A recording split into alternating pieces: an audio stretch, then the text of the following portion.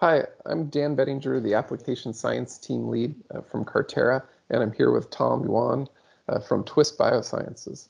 Tom, uh, I want to congratulate you on the recent publication in Antibody Therapeutics and for all the great work you and your team are doing um, discovering antibody cocktails to Ebola. So, Tom, can you tell me a little bit about your role at Twist Bioscience? Yeah, so I'm currently at Twist Bioscience in the Twist Biopharma vertical. So a lot of my focus is on the discovery antibodies and the optimization of existing antibodies. Um, one of the big, uh, like you mentioned, so for this particular publication, one of the workflows we really wanted to highlight was is how do we harness the high throughput of Twist synthetic biology platform with the high throughput SPR of the Cartera LSA. Um, so this publication uh, was first started by um, Yasmina and Aaron um, at Twist to uh, really highlight uh, how the two workflows really synergize with each other. Great. Um, is there anything else you'd like to say to introduce the paper before we go on to the first figure? Or? Right. So this paper originates from um, the Bornhaus et al. Uh, publication where where there, um, there's a large number of neutralizing antibodies for Ebola glycoprotein. Um, so what we're doing here is not the discovery of new antibodies. What we're doing here is the verification and clarification of the epitope bins, the competitive epitope bins of this set of existing anti-Ebola uh, antibodies. Um, what we are able to do at Twist, however, is that we can synthesize each one of these antibodies starting from just the protein sequence. Um, so we don't need any, any existing, we don't need any existing material.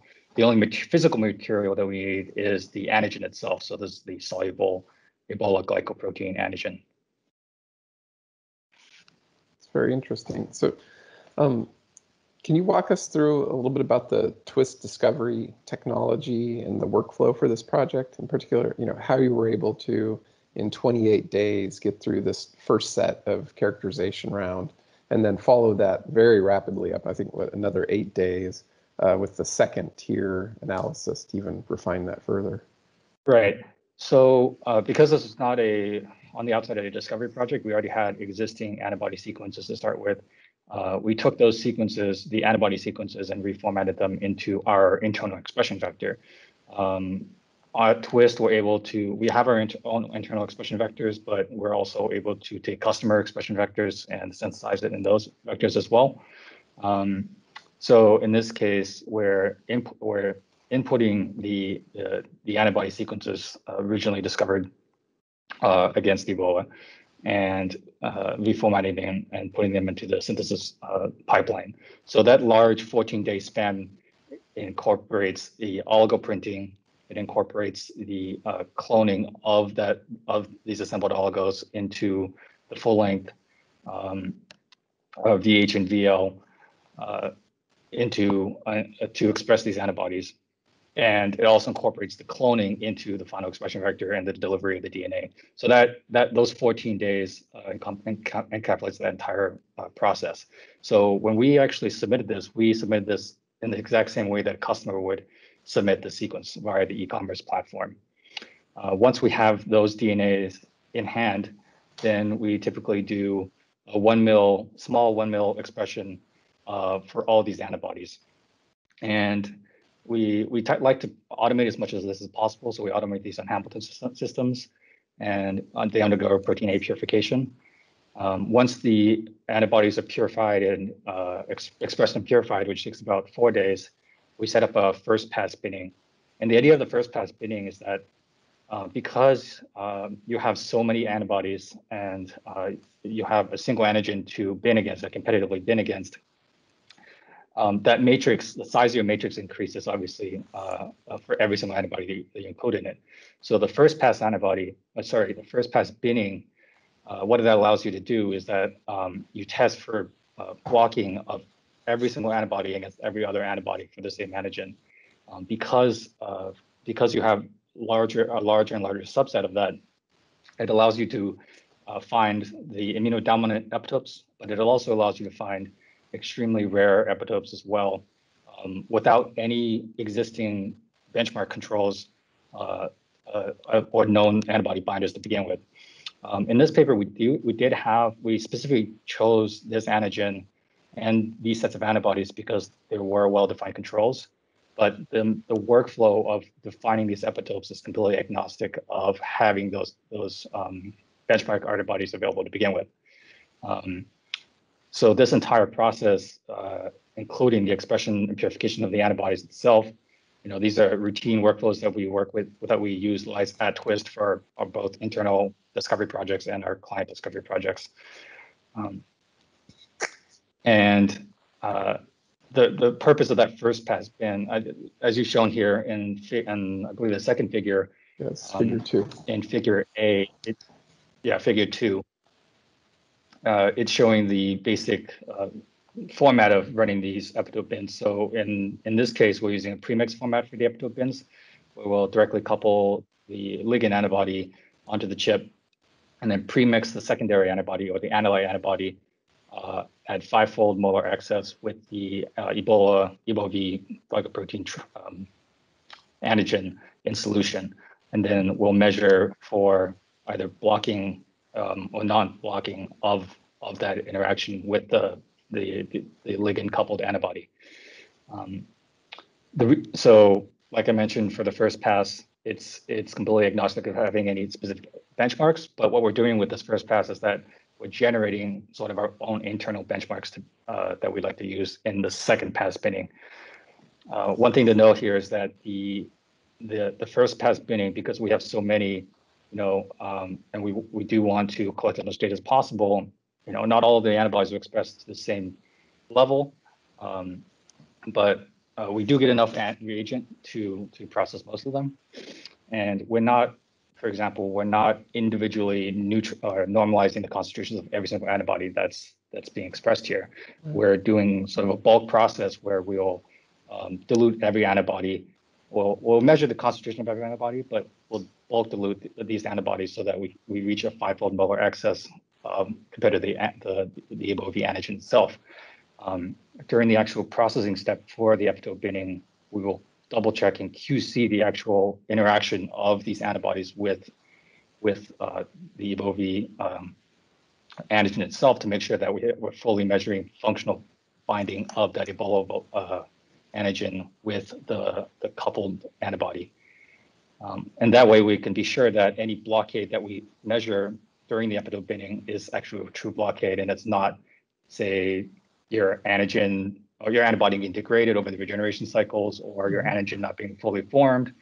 Um, so that's also why you see in figure C that it's not the full, uh, it's not a one-to-one matrix where you have, it's, you know, it's, there's more ligands than there are analytes.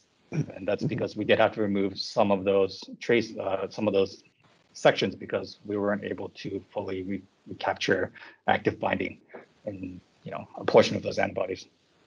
Yeah, and if they weren't high concentration, you couldn't necessarily assume that they'd fully inactivate the trimer, right? So you had to Correct. rely on those from the ligand side. Yeah, I mean, it's still very impressive that in this, you know, sort of single pass experiment, you were able to group you know, more than 200 clones into these seven communities. Uh, quite a bit of resolution and, and throughput for this type of assay, I think. Yeah, I mean, that's what's exciting about running this in such a high throughput manner is that, you know, just by the power of having the, retesting the same ligands over and over and over again, that you can really define, you know, both confirm that if it falls into immunodominant epitope, that you have this big block. But if it's a rare epitope, then that you're constantly getting non-blocking, except in that one specific, uh, uh, you know, matrix. Right. So maybe we can zoom in a little bit on figure three. So this is the, the second pass experiment um, where you focused in a bit more uh, on a smaller number of clones.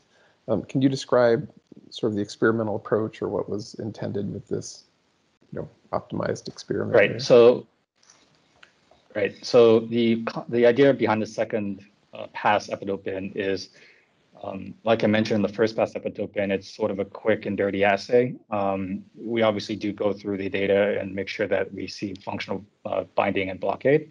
But in the second pass binning, the idea is if we don't have existing benchmarks, we can self-select our own um, benchmark antibodies, or we call them pathway antibodies from that first set of epitope binning.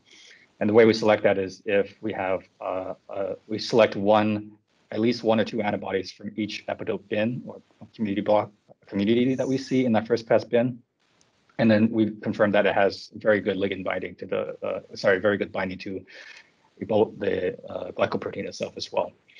Um, in this case, we're also throwing in known structural benchmarks um, for EvoV glycoprotein uh, just to see if they uh, uh, if they correspond to the initial bins that were uh, assigned in, in the literature.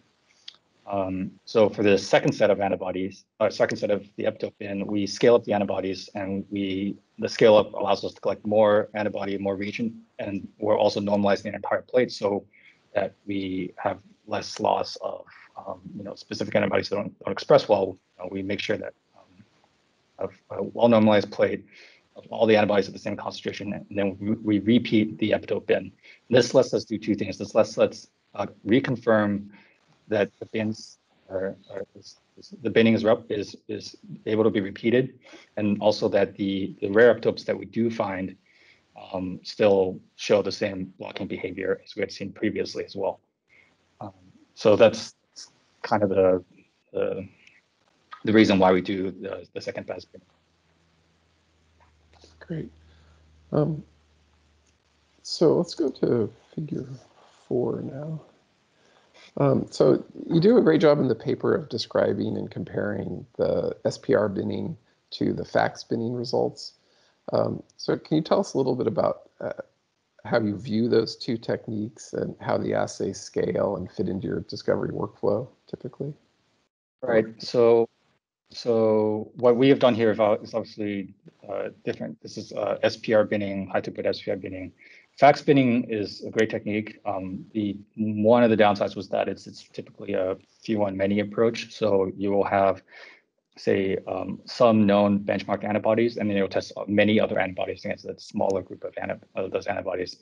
Um, the problem with that is that you don't get that two by uh, that, that, that matrix, uh, heat map matrix that you can generate with a high throughput antibody where one, every single antibody is tested against every other antibody in the same set. Um, and you, that way you lose some bit of some, some resolution.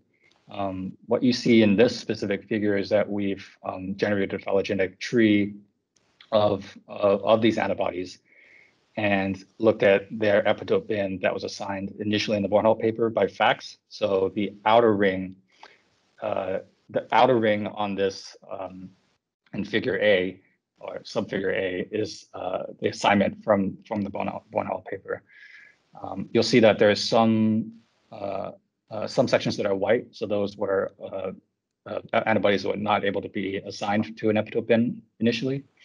And then on the inner ring is the assignments that we generated from our high throughput epitope binning, completely separate from their binning. Um, and you'll see that in many cases, in the vast majority of cases, actually, that the, the bins completely agree. There are some cases where there's a disagreement, but for the vast majority of these clones, they completely agree. And you also see that we are able to assign some of the more difficult to bin antibodies via this technique that were initially not assigned. That's great. So I was curious uh, from reading this, uh, were you surprised to see that you had MABs from the same germline family appearing in different epitope bins? And also, you know, about how much CDR variation do you think you need to see for them to separate into different epitope clusters or communities? Right, that's a really good question. So um, we, we, we do note that in, with some commensal pathogens, such as Staph aureus and yellow fever virus, that in many cases, the neutralization seems very strongly germline encoded. Um, for an antigen like Ebola or virus like Ebola, it, we don't tend to see that, and you can see that both in the in the epitope bins from the FACS data and also from the epitope bin from the high throughput SPR binning as well, where you'll see very similar, at least by sequence, it looks very similar in terms of uh, uh, the, the, antibodies be very similar, but they'll they'll bind to vastly different epitopes. Um, and this is, you know, one of the reasons where you you know it's it's always critical to test for the epitope itself, um, not just assume or not base your dis- antibody discovery efforts just based on sequence diversity. Um, so that's that's that's part of the power of this and part of the um, you know the advantage of doing uh, using a workflow like this. That's a really good point.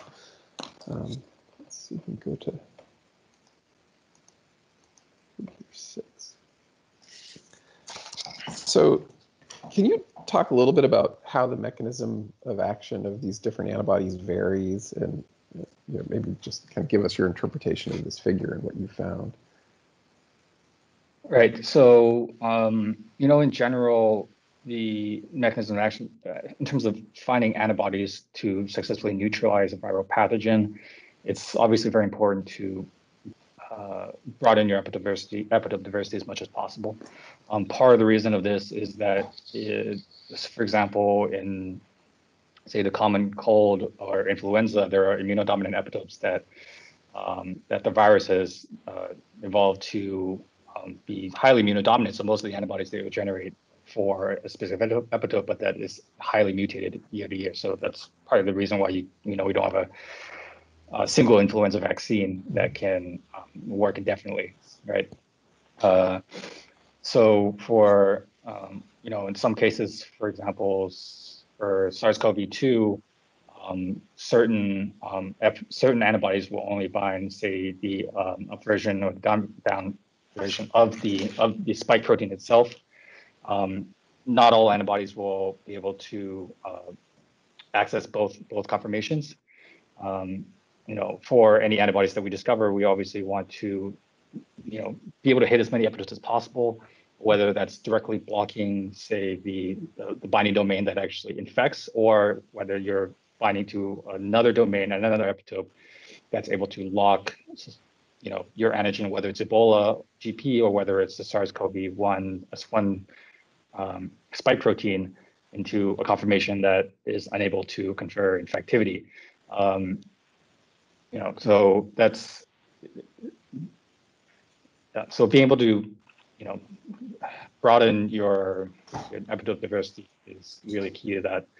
Um, yeah, there, there's quite a few surfaces that can provide, you know, potential neutralization activity for some of these viral constructs. So it, it's great that this model system, you know, ha had so many different mechanisms involved that are that are so distributed around the protein.